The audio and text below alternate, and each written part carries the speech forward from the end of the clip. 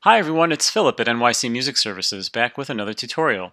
This one addresses the problem in Sibelius of instrument changes, key signatures, multi-rests, system breaks, and dynamic parts. They're all intertwined. Now, a brief background on instrument changes. These are most often used to change the transposition of an instrument, say from a clarinet in A to clarinet in B flat, or to create a doubling instrument for the same player, as in this case, where the flute player doubles on alto sax. An instrument change is created by going to Home, Instruments, Change. As you can see, when you apply an instrument change, the short name of the instrument is updated at the beginning of the staff system, and the transposition of the notes and key reflects the new instrument. Behind the scenes, the sound of the instrument is updated as well.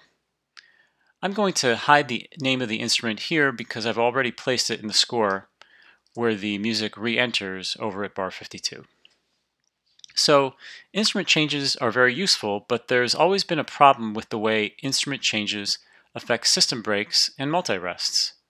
As you can see, when I go to the part, the instrument change is breaking the multi-rest in an undesirable way. If you move the instrument change back to the previous bar, the multi-rest is restored, but the key signature change is now misplaced. It really should go after the bar line, not before. Further, if there were actually a system break here, it looks strange because, again, when you have a cautionary key signature, that should actually go after the final bar line in the system, not before.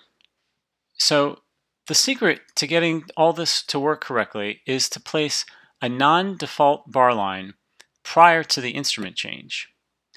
Sometimes you'll get lucky and an instrument change will coincide with a double bar line, but when it occurs like it does here in the middle of ordinary music, you'll need to place a normal bar line by going to Notations, Common, Bar Line, Normal.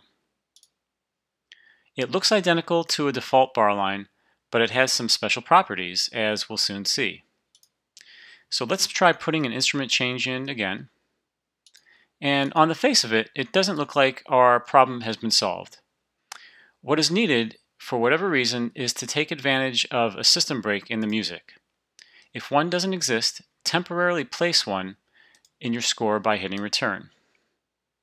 Then drag the instrument change just to the edge of the last bar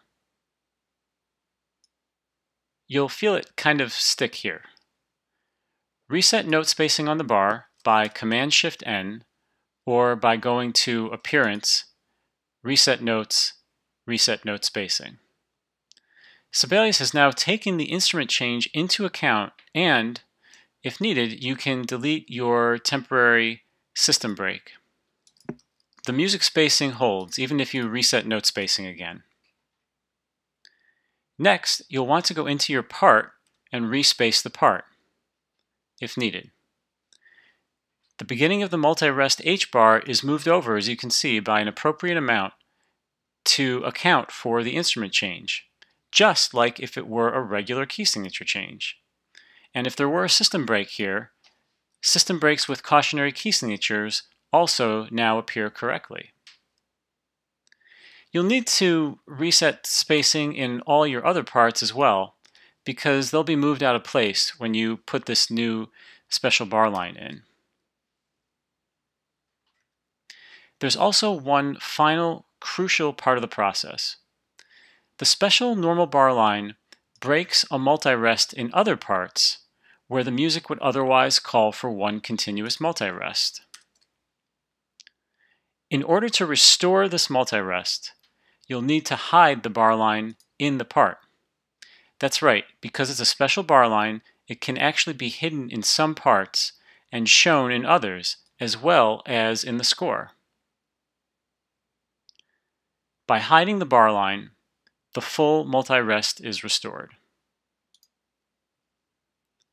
Certainly this is a case of something that should work more easily, and if you use Finale, you'll know that instrument changes and their older relative staff styles handle this situation flawlessly without any workarounds.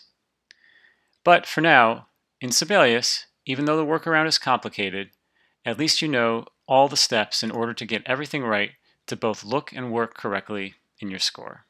Thanks for watching, and please be sure to like us on social media, and please do go to Sibelius blog and subscribe and read all about more tips and tricks and news on Sibelius and all the other notation software and technology out there today.